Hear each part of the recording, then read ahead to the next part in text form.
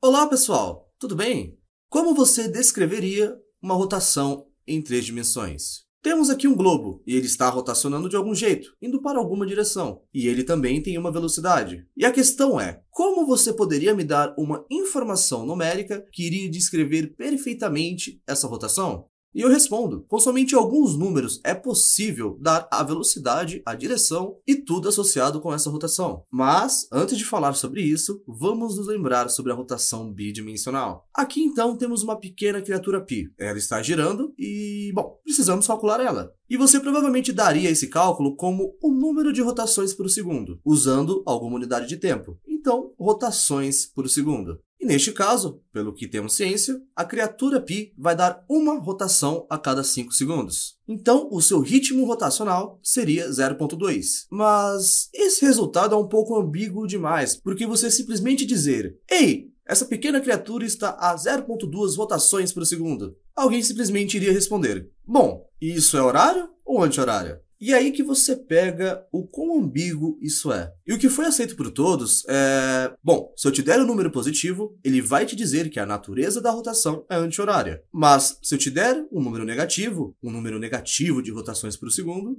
isso seria para o outro lado, sentido horário. E isso é simplesmente o que as pessoas decidiram. E é ótimo, porque com um único número, podendo ser positivo ou negativo, você pode descrever a rotação bidimensional. E temos uma pequena nuance aqui, pois usualmente em física e matemática, não se utiliza rotações por unidade de segundo, mas sim utilizaria radianos por unidade de segundo. E como um lembrete rápido do que isso significa, se você imagina algum tipo de círculo, qualquer um, o tamanho realmente não importa. Se você escrever o raio para ele e em seguida perguntar o quão longe deveria ir seguindo o comprimento do arco, esse tipo de subporção da circunferência, para ficar tão longo quanto do raio, faríamos assim então. Esse é R e você quer saber o quão longe você precisa ir até que o comprimento do arco também seja R. Então, neste ângulo, essa quantidade de voltas que você pode fazer determina o radiano.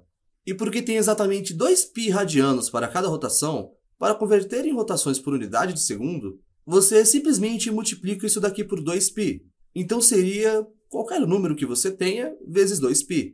E números específicos aqui neste caso não são tão importantes. O legal mesmo aqui é que apenas com um número positivo ou negativo você consegue descrever perfeitamente a rotação bidimensional. Mas se olharmos aqui em nosso exemplo tridimensional, precisamos saber além de um número só. Primeiro de tudo, você quer saber o eixo em torno de qual ele está girando. Então você desenha uma linha de forma que toda a rotação aconteça em torno dela. E depois você quer saber a frequência em que está indo. Se a rotação é devagar ou rápida, por exemplo. E agora você precisa saber a direção e a magnitude. E você pode dizer para si mesmo: direção? Magnitude? É isso mesmo. Parece que podemos usar o vetor aqui.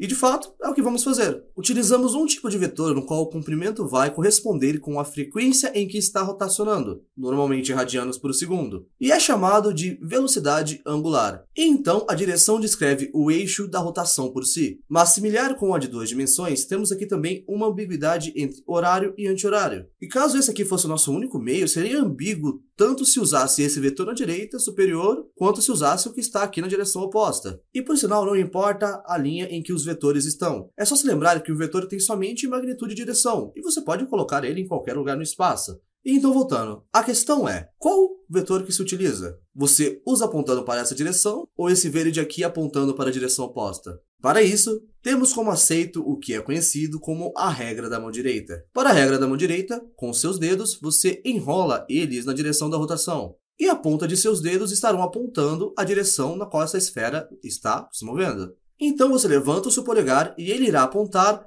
qual vetor que irá descrever essa rotação.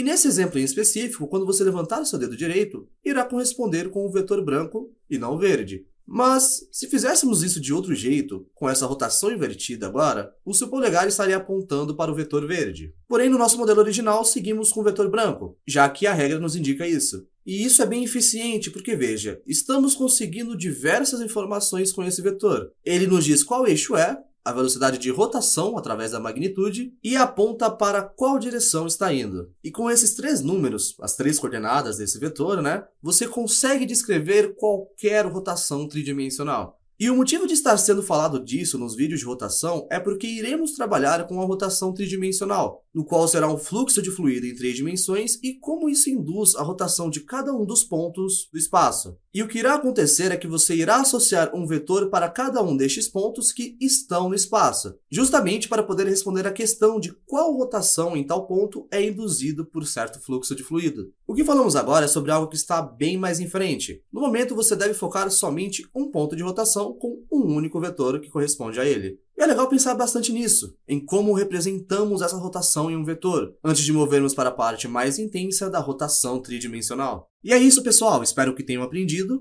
e até a próxima!